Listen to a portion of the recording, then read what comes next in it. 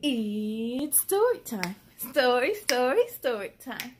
Let's read it story time. Story, story, story time.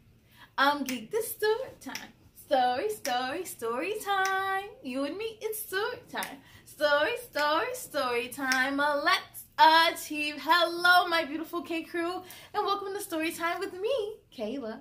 How's your Sunday going? I hope you're doing well, and of course, making sure to please stay safe. Now, today we have another special Arthur feature, and it's from two returning Arthurs. Today, we are going to take a look at a book from Arthurs Cherelle and Amari Yarbrough. This sister and brother duo is back with the second book in their series about three special girls in their life. And so, without further ado, the book we'll be reading tonight is called The ElleRays Encounters, Vibrations, and Sounds, written by Cherelle Yarbrough and Amari Yarbrough. You ready to see what this book is all about? Ready, set, let's begin. The ElleRays Encounters, Vibrations, and Sounds, written by Cherelle Yarbrough and Amari Yarbrough. Here we go. hey, she signed it. It says to Kayla from Cherelle Yarbrough. Discover a universe within. Yes. Always, always, always. Here we go. Chapter 1 The New Kids in Town. Ooh. Summer seemed as though it had come early to the quiet Baltimore town. There were roses, dandelions, and daffodils that had spontaneously bloomed from the ground. Ari, Bri, and little Lilly knew from where the flowers arose, but Mommy made them swear to the heavens to no one would they ever disclose. Oh, so they know why all these flowers are here, but they have to keep it a secret. As they walked through the streets, which were more like gardens, they danced and played happily. Then little Lilly saw a mysterious frog hopping and chased it immediately. She took off like lightning, leaving a pink ray behind her, and dashed into the depths of the woods. Ari and Bri gave chase behind her to catch her as soon as they could. Ooh. Lilly, stop! You're going too far! Ari shouted from close behind.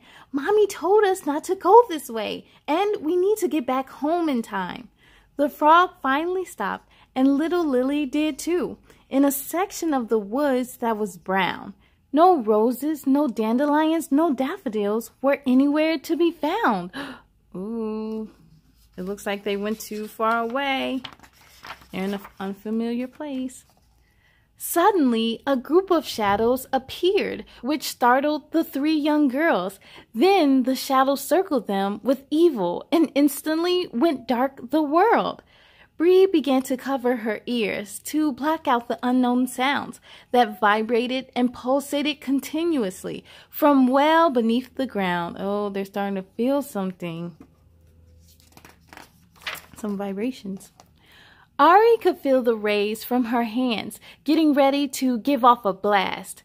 But she remembered what Mommy had told her, so she stopped in hopes that the darkness would pass. Ooh, she has the urge, but she's like, no, I can't use my powers. Hey, what are you guys doing here? One of the shadows spoke as he kicked dirt off his shoe. Then the sisters could see all of the faces, and just like them, the shadows were kids too. We were just passing through, Ari said to the tallest of the six new faces, which she could now see much clearer than before, were that of many different races. Oh, girls and boys and different races. They were all dressed the same from head to toe. In white, standing tall in the dirt, they were all wearing white sneakers with the names Gena written in black on their shirts. Hmm. Interesting. My name is Jamal, one of the voices said. That's Shelly, Brian, and Stephanie. Those two are Avery and Angela. We moved into the neighborhood recently. Hmm. I love your colors, Stephanie said to the sisters. They are very colorful and bright. Do the colors mean anything? Jamal asked with suspicion. I think I saw something like it the other night. Hmm. Maybe he did see them the other night. I think we need to go, Ari said, concerned. We shouldn't be this far away from home. We live just through the field over there, Jamal said. Come play outside or FaceTime us on the phone. Abruptly, Ari pulled her sisters away and began to head back home. Inside, she had a really bad feeling, not realizing just how far they had roamed. Mm. You know, anytime you have a bad feeling about something, always trust your gut, your instincts. More than likely, something is wrong. what is a Gena? Bri asked of Ari. I've never seen that word before. I don't know, Ari said to Bri, but we will definitely find out for sure. Did you hear anything? Ari asked of Bri. Could you hear what's inside their heads? Yes, I heard them all say the same thing. Gena is the future, is what they said. Hmm. What is this Gena? It's going to be the future? As the three sisters quickly exited the bushes and returned to the street where they lived, they noticed that some of the flowers had died and some of the branches on the trees had started to give. Uh-oh. Look, the dandelions, daffodils, they're starting to die and the branches are breaking. The leaves falling from the trees too. Whoever we just met, Ari said, I don't think that they are our friends. Their energy was definitely not friendly, said Bri. I hope we never see them again. They kept their secret between the three of them in hopes that maybe it would go away. But what the three of them did not know was that they would see the Genas another day. Uh-oh.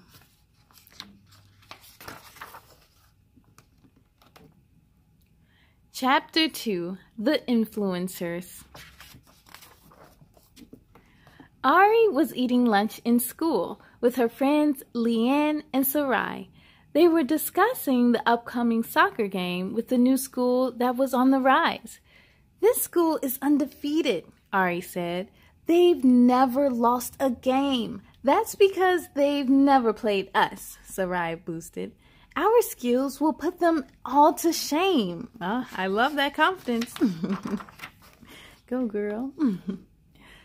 there are some kids I want you to meet, Sarai said. I've actually made some new friends. They are right over there. Let me introduce them, as she pointed to the crowded table at the other end.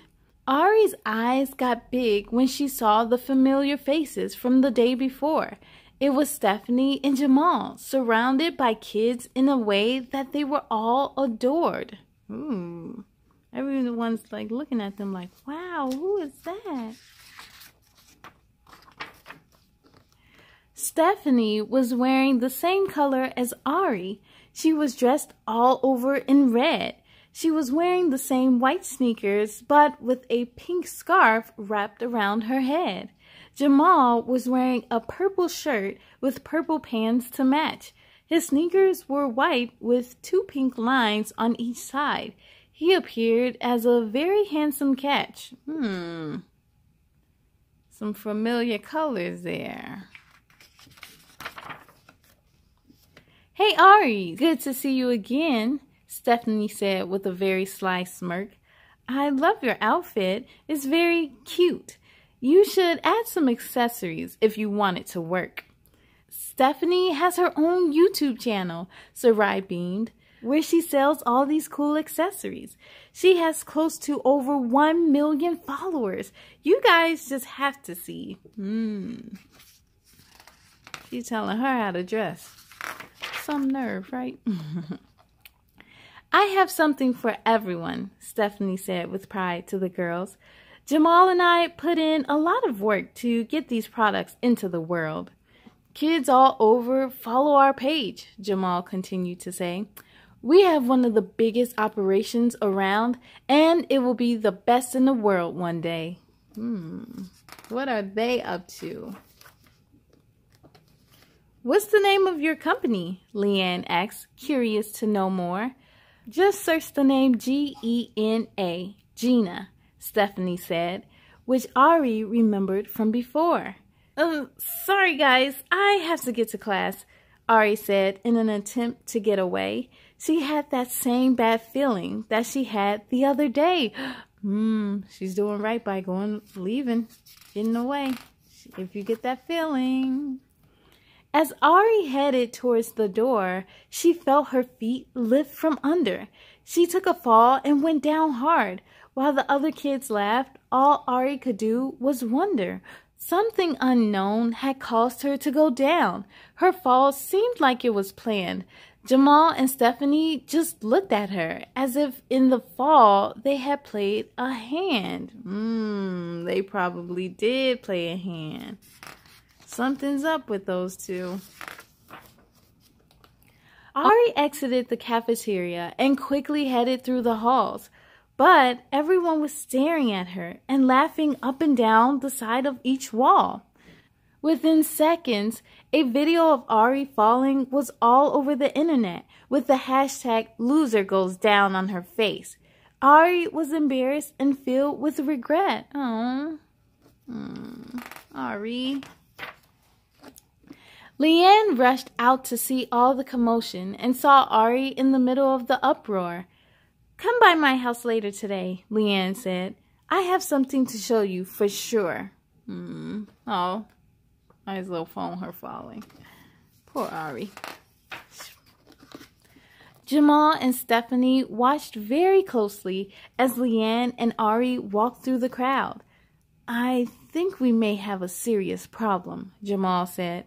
We need to fix it or the founders won't be proud. Mmm, so they are up to something. We just don't know exactly what yet. Later that day, at Leanne's house, Ari sat still and sad. She couldn't take her mind off what happened earlier. When the day was over, she would surely be glad. Leanne, a budding young scientist, was frantically typing away on her laptop. She was rapidly going through various formulas, and once she found what she was looking for, she stopped. Hmm. You need Everyone needs a friend like Leanne in their life. Remember a while back when I showed you the images of the different color rays in the sky?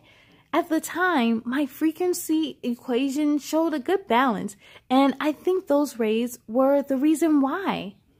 But lately, that balance has really been off. Nothing seems to be moving as instructed. The even balance of peace and stability has somehow, some way been disrupted. mm. She's like, oh. when did it start? Ari asked of Leanne. At what point do you think this began? Just a few days ago, Leanne replied, is when I noticed the shifts in the land. Those new kids, Jamal and Stephanie, do you think they seem a bit odd? They think just because they have all these followers that somehow they are bigger than God. Mm-hmm. You know, that's true. I noticed that too. They do think they're a little big headed. They think they're all that in a bag of chips. what else does your equation show? Ari asked. It seemed like it's very complicated. It may be to the average person, Leanne said, but is only as difficult as you make it. Based on my scientific calculations, the vibrations are at an all time high. We are heading for possibly the biggest change in the world. If only I knew the exact reason why. Hmm. So something's going on. But they still don't know what. I think I may have an idea, Ari said as she had a vision of darkness and light that came to her just out of nowhere and gave her unknown insight. I need to go home and talk to my sisters. Ari said as she began to leave.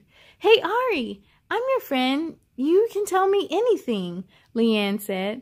Sometimes a good friend is all that we need. Mm-hmm, that's true. Ari left without saying a word, rushing home with a newfound strength. Her confidence had been restored somehow, but evil seemed to be within arm's length. Ari could see Bri and little Lilly waving to her from their big bay window, but before she was able to reach the door, the Genas appeared, putting Ari's safety in limbo. Uh-oh. They're going to try and stop her from getting from that door. Before Ari could call for mommy or her sisters, the Genas had swept her into mid-air. She was lifted into a dark cloud of dust, which gave her quite an enormous scare. Bri and little Lilly watched with their eyes wide open as their big sister seemed to disappear. Bri covered her ears to get a better listen to see what it was that she could hear. Hmm. So they took and swept up Ari. Come on, let's go. I can hear them clearly, Bri said to little Lilly. We will need all of our powers together in order to defeat the enemy. Then they grabbed their hands and combined their powers and shot purple and pink in the direction of Ari. No one messes with the El Rays, Bri said. For that, they will truly be sorry. Mm-hmm. Nothing like coming to help out your sister. Chapter 3 The End of the Beginning. Ooh, what does that mean? The dust had settled, and Ari looked around, for now she was finally able to see a place she had never been before, some place she did not want to be. Where am I? Ari asked, confused. Not to be afraid, Jamal said. You're safe. If all goes well, you can return home soon. Stephanie said, as long as you cooperate. What does that mean? What do she got to do? Ari looked past Jamal and Stephanie and saw what appeared like hundreds more, all dressed in the same white Genas attire, as if they were preparing for war. We need you, Ari, Stephanie spoke up, to help us continue to grow. Our generation has a major task which is far more than you know. Hmm. What is their task? What do you need with me? I'm just an average schoolgirl. All the Genas collectively laughed out loud. Then Jamal said, You're not average in this world. We need your ray of strength to complete a very important mission on Earth. The next phase of evolution is coming, and very soon the universe will have a rebirth.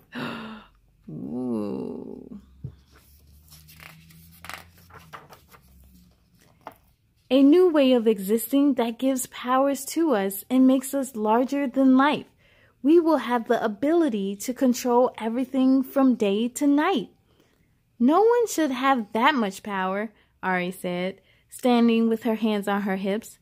I will never help you in any way with any of my special gifts. Ooh, yes, Ari, stand strong.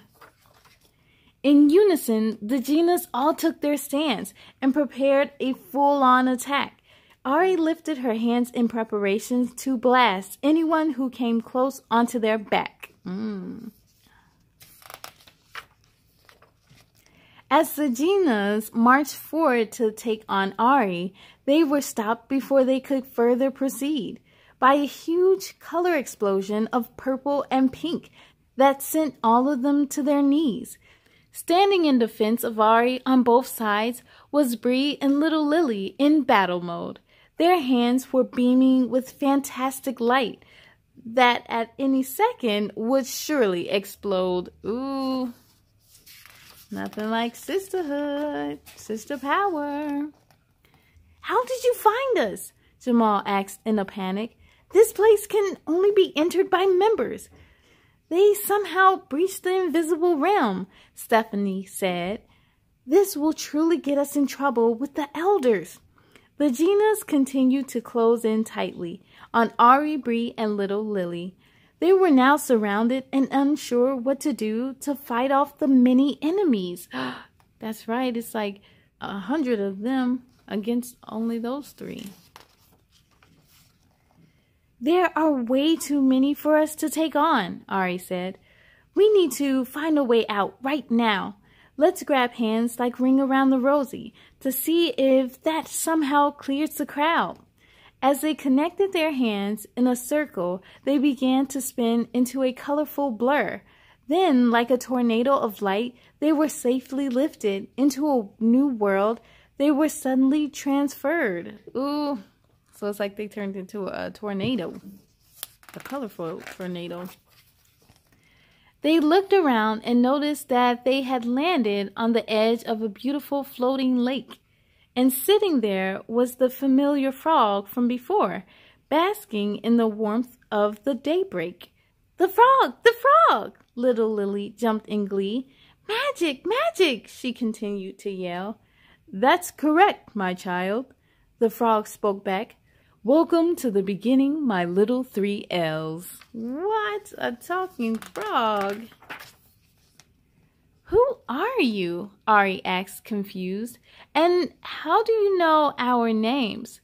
I knew you before you were born on this earth, the frog said. I'm so glad you finally came. This place that you've entered is one that is special. Is the place beyond the realms of the sun. And now that you are here, you will receive the tools that will guarantee you are never outdone. Ooh. They're all like, they all close their eyes. The three of you are essential parts to unlock the mystery of mankind. Now close your eyes and count to three. And when you open them, the answers you will find. The girls did as the frog instructed, closed their eyes, and together they counted. When they opened their eyes to look around, on their faces, special jewels and vision had been mounted. Ooh, they got some jewels on their foreheads and special glasses and different attire now, different clothes. What each of you now has is something more powerful than anything ever owned by man. You now have the vision of the universe, which you will need to carry out her plan. Who is this her to which you prefer? Bri asked, wanting to know more. That answer you will find on your journey, the frog said. Then, in a blink, he disappeared from the shore. What? We need to get back home, Ari said. Mommy is going to be quite worried. Which way do we go? Bri asked, confused. I have no idea where we are, and everything is blurry. Remember what the frog said. Just relax and count, Ari instructed to little Lilly and Bri. Now concentrate, focus, and look again, and tell me what it is that you see. Now look, just over the hill. Ari said, a clear path that leads to our home. I can see Mommy in the kitchen cooking dinner and talking on the phone. As the girls headed home with their newfound gifts, the frog appeared once again in the distance. He smiled, knowing that they were starting to learn the true meaning for their existence. Oh, Those the frog was magical and had something to do with it too. Meanwhile, back in their invisible realm, the Genas were extremely frantic, for they had let the ElleRays escape from their clutches, and they were well beyond the mode of panic. If we don't get those girls, Stephanie said, we won't be able to make our advances. The culture depends on us to lead them. Time is running out, and we don't have many more chances. Mm. Don't worry, we will definitely complete what we started, Jamal deviously said, rubbing together his hands. We just need the right bait to lure them close in a way they wouldn't understand. Little do they know I've already set the trap that will make them feel as if they are protected. Now just sit back and watch everything unfold because what is coming won't be expected. Uh-oh. The and Yes, K Crew! You know, this was a perfect sequel to the first book, and I always appreciate how our Arthur, Cherelle, and Amari always capture the magic of sisterhood and girl power. Now, I hope you enjoyed reading this book as much as I did. To find your copy of the ElleRay series, make sure to head on over to their website, and you can also find these books on Amazon. And of course, be sure to follow on social media. A huge thank you to our authors for both submissions and make sure to check my description box below so you can catch the read aloud of their first book. And I want to give a huge shout out to Brielle, Ariel, and Liliel. Hey, thank you for watching. Now, I thank you all out there for joining me as well, but it's time to say goodbye. Are you ready? Here we go. Goodbye, goodbye, goodbye, goodbye, goodbye, goodbye, goodbye, goodbye, goodbye. My friends, goodbye to you. I hope to see you again real soon. Be proud of all your work tonight. Now climb into bed and sleep real tight. On the count of three, let's say goodnight. One, two, three.